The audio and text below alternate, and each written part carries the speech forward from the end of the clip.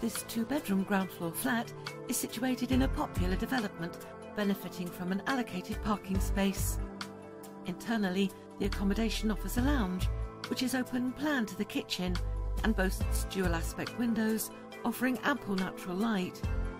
Meanwhile, the kitchen includes a range of high gloss units with contrasting work surfaces and some integrated appliances. Following on, there are two bedrooms, which are double in size and have been neutrally decorated with carpeted flooring. Completing the property, the white three-piece bathroom includes a shower over the bath. For more information, please contact Anthony Martin today.